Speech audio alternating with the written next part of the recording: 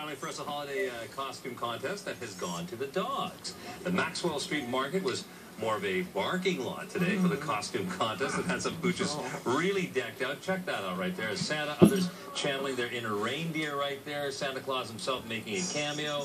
Uh, so all the festive pets and their humans could pose for photos. And there's always a pug in those shots. Always a pug, right? Always at least one Pug pug. owners who do that. Very photographic. They dress up well. They look good. Former pug owners. They do dress up well, well put. Well, that is our news.